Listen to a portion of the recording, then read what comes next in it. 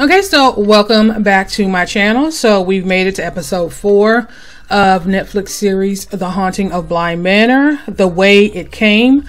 But before I get into my recap of episode four, I'm going to do a brief recap of episode three, Two Faces Part One.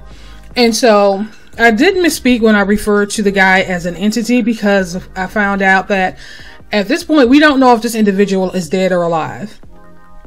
But the person that both Dani and Miles um, have seen is actually Peter Quint. And we find out that Peter Quint is actually an associate of Henry Wingrave's. He's actually his assistant to a certain degree. You know, he runs errands for him. He, you know, keeps him on track and, and his business dealings and things of that nature. And so he actually met Rebecca Jessel when she came in to interview for the nanny position. And as a matter of fact, he actually conducted most of the interview. But during the interview, you could see that there was some chemistry between her and Peter. And so this episode kind of jumped back and forth um, between 19 so was saying it went back a year ago which would be like 1985 86 and of course, present day for the story would be 1987. And so we've um, jumped forward, and it's the same night of the hide and seek game. Uh, the police are there. Uh, Dani is describing the guy she uh, the guy that she saw. She hands the photo to the officer, and of course, the officers are familiar with uh, Peter Quint. And this is when Hannah tells her that about Peter Quint and how he stole two hundred 200,000 pounds from uh, Mr. Wingrave, and no one has seen or heard from him since.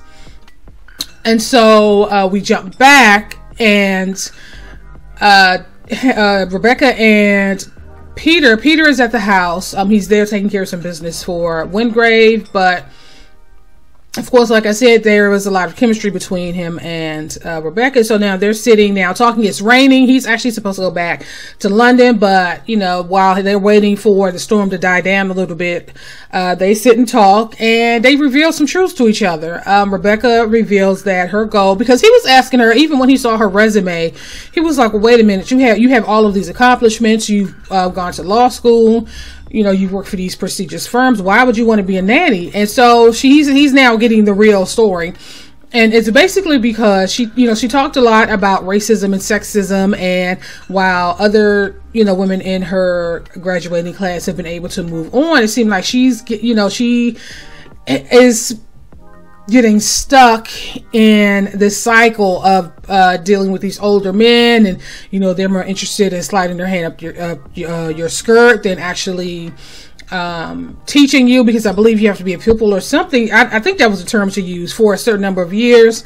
And, you know, she was just tired of, she just didn't want to play that game or she didn't want to go that route to move ahead. And so her attaching herself to Wingrave, who we're assuming at this point is at the top of his game, is going to give her somewhat of a leg up. And that's if she's able to get his ear and he decides to become her mentor or whatever, you know, that whole situation is. And so, um, uh, Peter, you know, also has his mo- ulterior motives. You know, it seemed like he came from a small town. He mentioned that he's not like other people from his town, and you know, he's ambitious. And so, him attaching himself to Wingrave is also advantageous for him as well. And I think that that is something that they, him and Rebecca, was able to connect over. You know, them both being ambitious and driven and you know they you know see both see Wingrave as an opportunity to get ahead. And so, of course, the relationship progressed to a sexual relationship. And you know, it was you know something. It was it happened pretty fast, but obviously you you saw that coming. And so what you find out is that the house staff didn't really care for um Peter, and they didn't care for him before he stole the money and skipped town. And, you know, it seemed like Peter takes a lot of liberties. You know, he's, you know, raided the uh, Wingrave wine cellar and he gave Rebecca uh, one of Charlotte's uh, fur coats. Charlotte, I believe, is the mother of Miles and Flora. Uh, and and you also see that photo um, uh, that that Polaroid of them together. Uh, you actually see the the night that it was taken, and she was wearing wearing that fur coat in the actual uh, photo. So you know there was a whole situ- situation that happened that night, and they end up getting into a big fight because of him, and he basically he felt like she was too comfortable with the family and I don't. It just he, he, just flashed on her. They got into an argument, and he left. I'm not about to go into all the whole details about that, but you can watch my previous recap or just watch the episode. But and she's kind of left confused, like where's all this coming from? And so he left that night. So at this point, we don't know if they you know saw each other again. Uh, Hannah this crack has appeared once again. You know, she's in the chapel saying her prayers and she looks up and she sees this crack on the wall you know, she's distracted for a minute and she turns around and looks back and the crack is actually is no longer there. So it's something significant about this crack. There's obviously some reason why uh, Hannah keeps seeing it, but of course that has yet to be um, revealed. Uh, Flora is she has some type of connection with uh, whatever the spirits in that house or whatever the case may be. Uh, she left uh she got up early that morning and went to the lake when dani went to go and find her. You can clearly see that she's staring at something. And so when dani tried to pull her away she was telling her no no no. So she ends up having to pick her up to take her away. And then we see what she was actually staring at. And it appeared to be Rebecca Jessel standing on the other side of the lake. And so, of course, we know for a fact that she died because it's been, you know, it's come up a couple of times, and Flora was actually the person that found her in the lake. Um, we, you know, we find that uh, something, you know, I'm, I'm Ho- you want something to happen between Owen and Hannah. Owen just seems like all around good guy. And you know he's you know there in town taking care of his mom. And you know hannah just they just seem like they would just be a, a really uh, nice couple. So you know it seems like something may happen between them. I hope it does. But you know who knows? Another interesting thing is that i i was trying to figure out if there's something's going to happen between jamie and dani you know there were a couple of you know scenes where it seemed like it was moving in that direction. And it wasn't really so much what was said. It was just basically the body language and how they would just, you know, gaze into each other's eyes for long, uh, you know, unnecessarily long periods of time. It was just, so I'm like, okay, is something going to happen between Jamie and Dani? Yes, we'll have to wait and see. And one big thing that happened for Dani is this entity that's been following her around that we you know we've only seen in reflections in mirrors and glass and things of that nature. Well you know we now see this entity standing right in front of her in front of the house.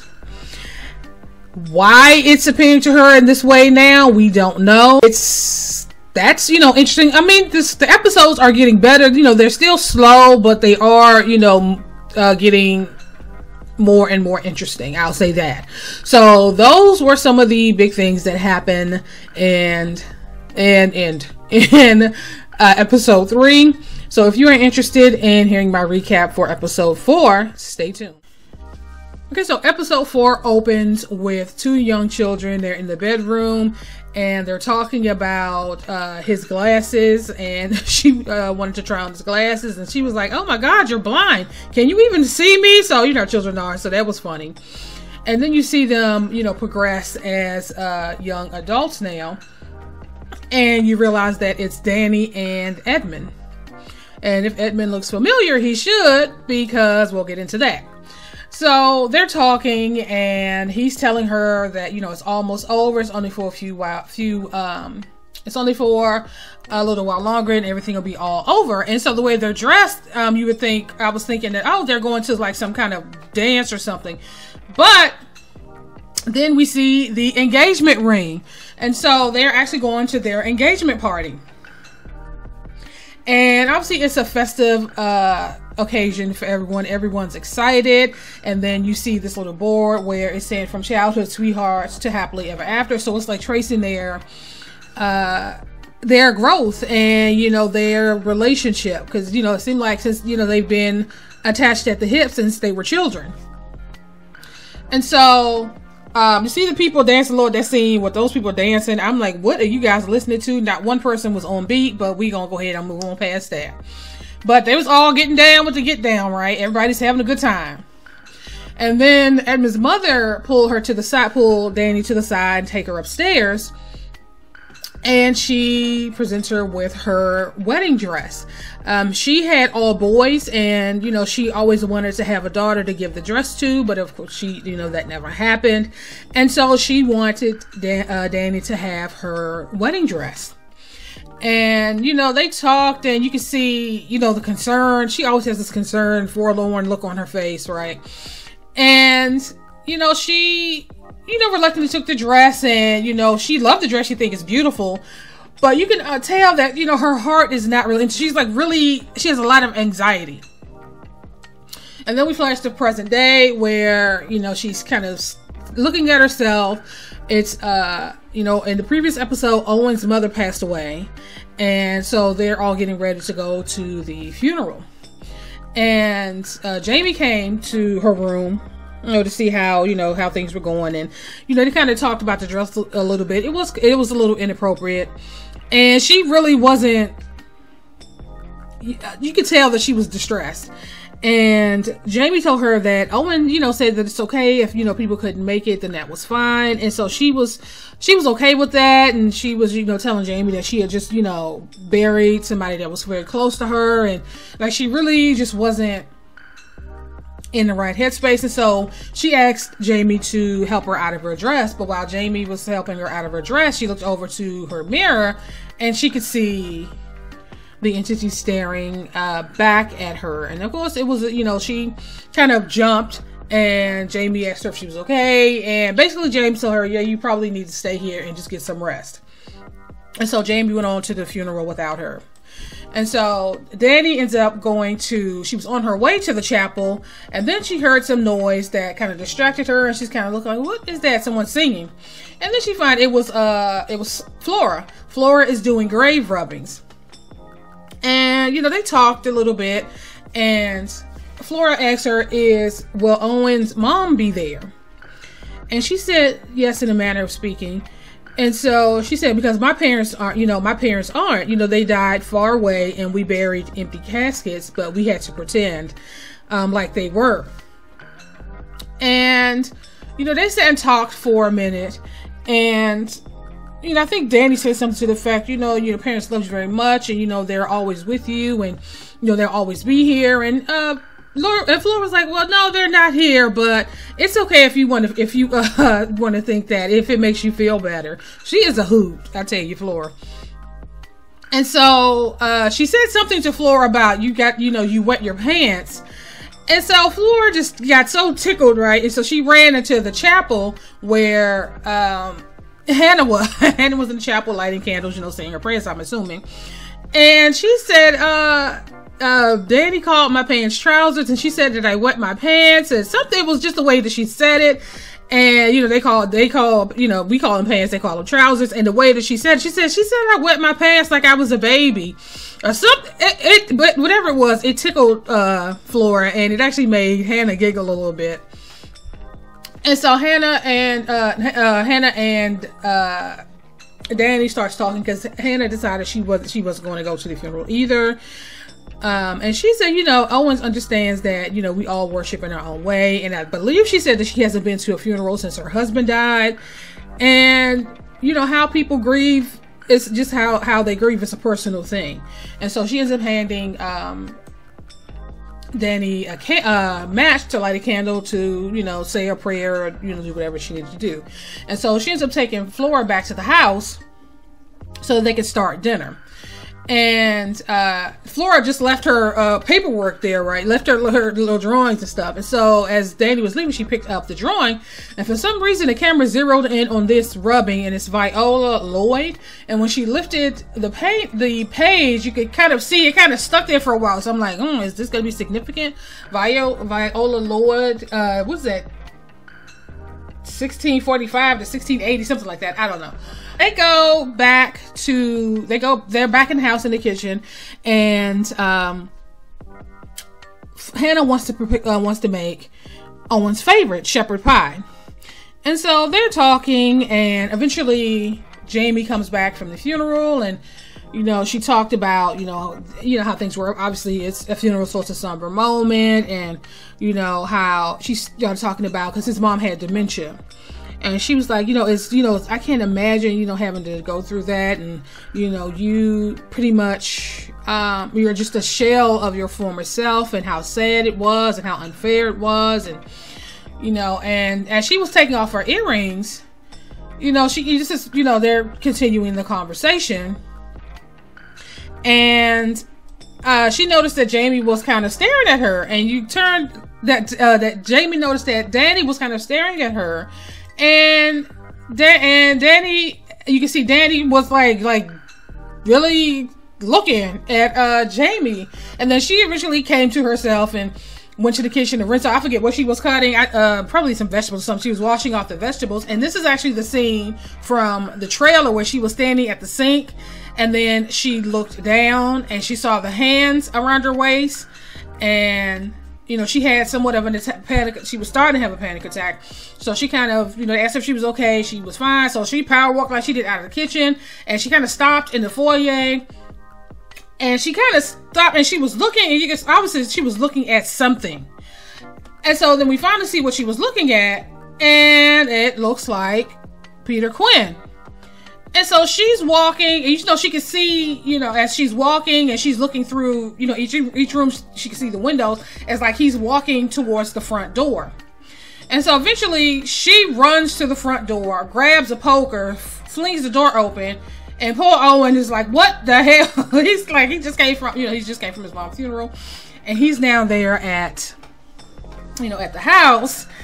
And he um, initially, he was like, you know, I don't, you know, how I ended up here. You know, I just started driving. I ended up here. And, you know, maybe I should go. And Hannah, and Hannah told him, you know, you know, you should come in. You know, we've made dinner and you know we you know we want you to stay and so flora was like how did you she asked hannah how did you know um how did you know owen was going to be here she um because she made your favorite right so they end up going into the kitchen dani uh is still standing there like trying to catch her breath um after almost bludgeoning poor owen and uh jamie takes the poker away from her and kind of walks away and then you see the first uh the see the next flashback where uh, Dani is getting fitted. So you know, it looks like a really pretty dress, and they, you know, both uh, her mom and Edmund's mom is there, and the woman that's you know going to tailoring the dress, and it's almost like she was kind of flirting with Dani a little bit. And so Dani, you know, the moms, they have their wine, so they're a little tipsy and talking about their marriages. And her mom, Dani's mom, was like, you know, I married, you know, my marriage is horrible. You know, I wish I had, I still had my dress to give to her, but I burned it, and it was whole drunk off their ass, right? And so the woman, you know, is telling her, you know, uh, you know, this really is a pretty dress, and you really have pretty shoulders, and you know, she like has her, you know, she kind of rubbed her hand down her back. It was a whole scene, right?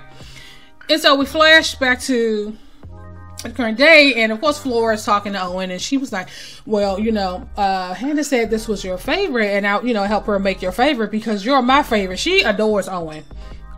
And he, she was like, he was like, "Oh, thank you, darling." And so, you know, they talked a little bit, and oh, then he leans over to uh, Flora and was like, "You know, I was almost killed." Right. And so they started laughing because obviously they was talking about the incident at the door and Dani was just so embarrassed. She was like, I'm so I am so sorry, right? And so they just all they're kind of tickled, right? And so um you know, he started talking about, you know, how, you know, why mince pie is his favorite, how his mother used to make that when she traveled because it, it kept for days. And um, Flora ended up asking him if he was leaving. And he was like, Why are you trying to get rid of me? And she's like, No, no. And so he was like, oh, I think Hannah would like me to get out of her kitchen and out of her hair. And, and, uh, you know, they had a little, uh, fun back, going back and forth. And then she was like, You know, you're not going to die. This is Flora talking to Owen. And he was like, huh, why'd you say that? And she's like, well, you know, when my parents died, I feel like she's just beyond her years, right? So she said, when, I, when my parents died, you know, I thought that I was, I thought that I had died too. And I thought that, um, even though I, you know, I thought I was dead, even though people could still see me and hear me. And then, you know, I realized that I wasn't. And she said, because I just realized that I was really, really sad. And she like, you can only be really, really sad if you're alive. And, you know, I learned a secret that made me, um, and so while she's telling the story, you can see them, you know, feeling like, oh, Lord, you know. And so she was like, I learned a secret. And he was like, well, what's, well, what's the secret? she was like, um, I've realized that people are never, um, people die, but they're never really gone. And so it was a, it was a, a an emotional, an emotional moment for, uh, for them a little bit. So the next thing you know, they started talking about wine and, um, uh, no, of course, Miles chimed in and he's like, I would like to have a glass of wine. And of course, Dani was like, uh, well, that's enough. You know, you cannot have any wine. And then uh, uh, Owen started saying, you know, my mom used to give me wine, but she would dilute it. She put a lot of water in it, right? and so Dani said the same thing. Like my mom would do the same thing. And he flashed some kind of bag. He got really angry and was like, I don't want any watered down wine. I want a real drink, a regular drink. And he went, they just flashed on these people. And they all kind of looking like, who, what? Right, so they all, they're looking. And she jumped up and she said, oh, absolutely not. Go to, you know, leave the table now, right? And so he kind of looked over and gave her the evil eye. He was looking at her like he really wanted to say something to her, right? So she is, she's still like, no, you need to leave. So you see, uh, Flora got up and she said, get told uh, Owen good night and eventually um uh miles followed and she followed them to help them you know get them ready for bed and so uh hannah was like you know what? I'm really st- I, you know i knew i liked her for some reason. Like because she's not gonna put up with put up with crap from them from from the kids right? So we're in uh so we're in de- uh flora's room and you can hear somebody brushing their teeth but then you see the house the part of the, the door opens all by itself. And you see that it's um, Flora in there brushing her teeth, and Dani is standing there, and she see, you know, she saw this happen. Like this door, this house, this door just just opened on its own. And so she walked over and she opened, you know, both sides so, so that she could see in to see if, you know, maybe something was in there or whatever the case may be. And she reached in and she grabbed this doll, this doll. And Flora walks in and said, Miss Clayton, can you please not touch my dolls? You know, I have them set up in a specific way. And she apologized. And uh, she was like, oh, and then she looked at the doll and she was like, oh, that's Peter. And so, um, Dani was like, "Well, have you or Miles seen Peter? Um, have you let him in the house? Um, you know, and you you know when you know that you shouldn't." And so she was like, "No, we have no, we didn't know. We've never let we haven't seen him, and we never let him in the house. That's not how it works." And of course, I'm like, "Okay, what does she mean? But that's not how it works." And then you can see her eyes kind of go. It's always look like she's waiting on someone or something to tell her what to say or what to do. And so her eyes kind of go go over. And Dani notices this and she was like, Well, who are you talking to? She was like, Why are you looking over my shoulder? And of course, um uh Flora was like, I don't know what you're talking about. She's like, No, you do that a lot. And Flora and Flora was just like, I don't I don't know what you're talking about. I don't do that. That's not me. I don't know who it is, but it's not me. Mm-mm. So she ended up getting her into bed. And of course, she walks across the hall because she has to talk to Miles about his little his little incident, right? And so she was like, "Well, that was a show downstairs," and he was like, "Was it?" It was almost like he didn't remember it, or I see, I don't know. And I was thinking about the story he told in the previous episode about the puppet tier that made the 20 puppets and each puppet had a different personality. I'm like, are we gonna find out that Miles has multiple personalities or something? Because like I said in another video, he's like Jekyll and Hyde. Like he his mood swings are ridiculous, right? And so she talked, you know, she talked to him and she was like, you know, we're a lot alike. Um, we both, you know, I lost my parents too. She said her, her father died when he, uh, she was about Flora's age and her mom was there, but she wasn't really there.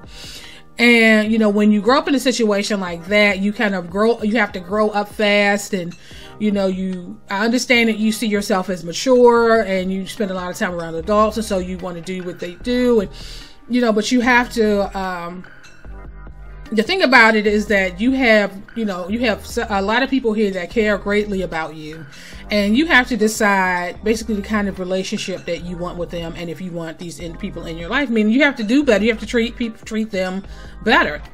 And they talked, and you know, he was like had a completely different mood. He was in a completely different space, and he was receptive. And you know, she said her good nights, and you know that was that. And so she walked downstairs, and Jamie there holding her coat and she's like, "Well, we're going. We're going to have a bonfire, and you're coming with us."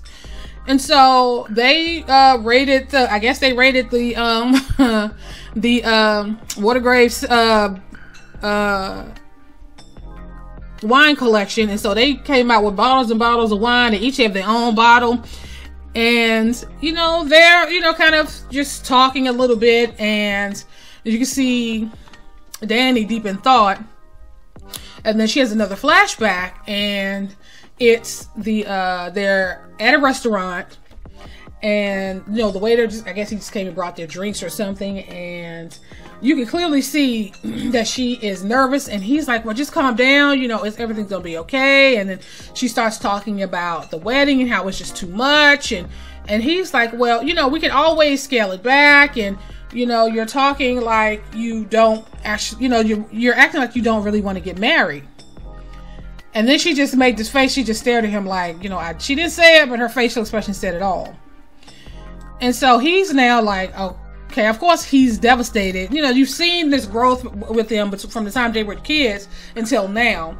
And he's like well i don't understand. Why didn't you tell you know why didn't you say something sooner? And was it something that i did? And of course she's like no no you know it's not. And she's trying to console him. And you know he's hurt at this point. And so you kind of see them you know they're kind of sitting there. It's quiet now. And so now they're in the car and you know she's saying how sorry she is. And you know he's you know and how she still loves him. And he's like you know what? F you. I don't even you know, I just can't even be bothered. I can't be around you right now. And then he steps out of the car. And unfortunately, that is why when we he's presented to us, it looks like his eyes are glowing. It's because those are the the, uh, the headlights of a truck that basically plowed into him as soon as he stepped out of the car. And of course, Dani is there. She is devastated, like she's in shock. You see him, he's like barely clinging on to life. And they made it a point to focus on his hand. Now, if you remember in the previous episode when she was in the bed and she turned over and she saw like this hand reaching out to her, that is we could see that where that you know that came from. And so we flash back to the bonfire, and Jamie is, you know, going into, you know, the history of why people do bonfires, and the bonfire was um, so that they can uh you know talk about the people that meant something to them. It's like an offering to keep away the evil spirits and it was initially called the bone fire and the whole background of that. And you know they basically went around and talked about you know the people that they you know that they you know think of a lot or think fondly of. And so the first person that stood up was hannah and she talked about rebecca and how beautiful and intelligent rebecca was and how she was worth 10 of he who shall not be named. And you know it was just sad that things happened the way that they did because she had you know she had all this potential and you know she felt like you know she was punished in some in, in a way for it. And then Jamie stood up and she talked about Lade and Lordy Wingrave, which would be Flora and Mal's parents, how they were kind, how they were good people. and she talked about how grateful that you know they would be that Dani was there. You know, having somebody that care about their children, that, that, that really care about their kids, and how you know it's been a joy having Dani there, and the you know the whole thing. And then she, you know, turned to Dani, and Dani just wasn't ready. She was like, you know, I'll pass, and they was, they was like, that's fine, you know, that's okay. And then Owen, he starts talking about his mom and how much she meant to him, and how much she loved him, and you know how she was long gone before she died. You know, because she had uh, dementia, and you know they um, how you know you people you never talks about talked about knew you know knew that she had she, how funny she was and how she had a sweet tooth. And you know he talked about all the things that you know he loved about um, his mom. And then we have another flashback of ja- of Jamie Jamie of Dani and Edmund's parents and his brother at the hospital. The doctor walks in and he tells you know gives them unfortunately the the bad news. Dani has to step out. She goes into the bathroom, and this is the first time she sees this entity um, in the reflection. So I, you know, initially I didn't know where it started, and then I think when I first saw the glasses, I thought, well, maybe it's because she's holding on to these glasses. There's something attached to these glasses. But then seeing this episode that, you know, she started seeing him long before we even saw anything about the glasses, and so now they're at the funeral, of course, and of course she's standing with the family, and people are you know giving her condolences, and you can see that she could snap any minute. And then for whatever reason, she's positioned right in front of a mirror. She looks up, and then she sees this entity. And she as she held it together for as long as she could, and then she kind of just she couldn't do it anymore, and she basically apologized to everybody, and she walked out. And uh, so they're back at the bonfire, and Hannah and oh, when they sat, they're still sitting at the bonfire and they're talking. Jamie and Dani kind of walked off, and they, you know, started talking. Jamie was like, you know, I what I can see that you're not okay, but I fear asking the question because I don't really like being lied to. And so she you know, ends up telling her about, you know, her, you know, I told you about my fiance and, you know, how uh, he died and, you know, you know, we broke up just before, like right before. She was like, oh my God, like what? Yeah. So they have their whole conversation. And then, you know, it, the, the inevitable happened. They, you know, started getting into it, getting into it. And then she sees uh, Edmund and she jumps back and that's misinterpreted as and so for some reason that was misinterpreted by um by uh Jamie as she wasn't interested but you know that wasn't the case. She was taken she was scared she was taken aback.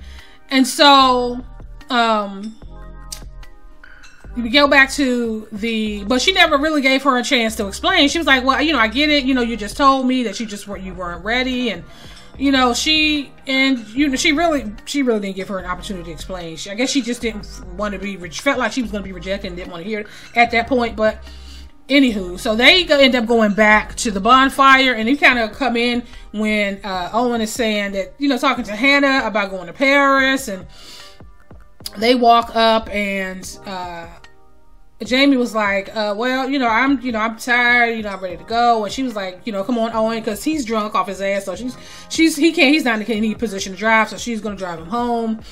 And you can see Dani standing there, you know, concerned because you know she wants to, she feel like she may have messed something up between her and Jamie, but Jamie is trying to turn around and she ends up telling her, you know, it's all good. We all, it's all good. We, it's, we're fine. And the next thing that we see is Dani's in bed. Okay, so Dani's in bed and she's staring at these glasses on the nightstand. And eventually she jumps up and she grabs the glasses off the nightstand and she walks out of the room. And then they flash to Flora.